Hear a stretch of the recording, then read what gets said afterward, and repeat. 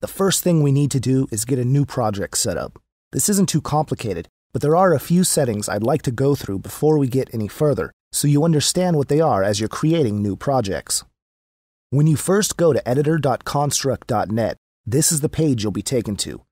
This is the startup screen where you can create a new project, load a previous project, or load one of the example projects. For now, let's just take a look at how to get a new project set up. First, go ahead and click the New Project button at the top of the screen. That will bring up this window where we can enter some basic details about the project, like the name of our project, which I'll set to First Project. Also, I should note that all of these values, including the name we just entered, are optional. If you want to start a project quickly, just hit New Project and click Create, and you'll create a new project with the default settings. You can also create a new project even faster by pressing the Alt-N shortcut at the startup layout. That will create a new project with the default settings, skipping past this window entirely. But I like to go through these so we have a good understanding of each of them. Next, we have Choose Preset, where you can select an option which will automatically populate the fields below it. If we select SD Landscape 4 to 3, the viewport size is set to 640 by 480, which is a 4 to 3 ratio, and it is set to the landscape orientation. So, the presets just allow you to quickly populate these fields to common settings.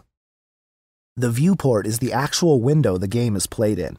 It's the viewable portion of the layout, everything the player will see, so these dimensions determine what size the viewport will be.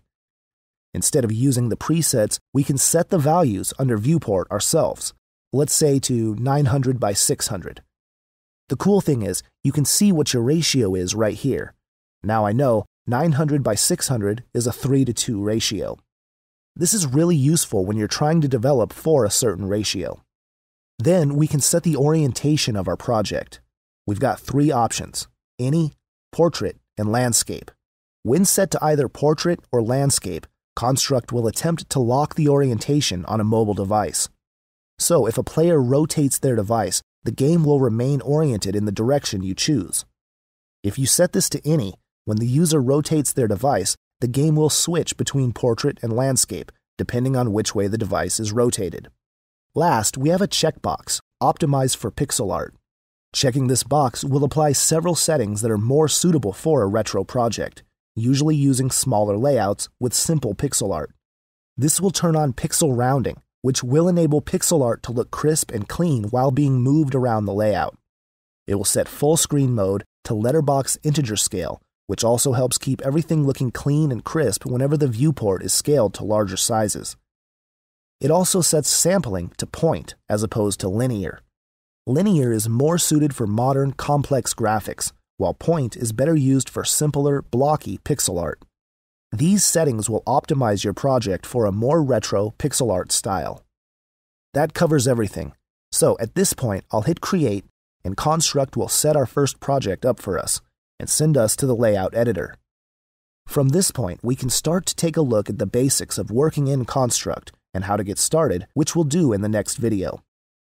If you find this content helpful, please consider supporting me on Patreon at patreon.com slash today's tuts. For a dollar a month, you'll get early access to all new videos, and you'll help keep this channel active. Also, check the description for links to follow on Twitter or like my new Facebook page. Thanks for watching.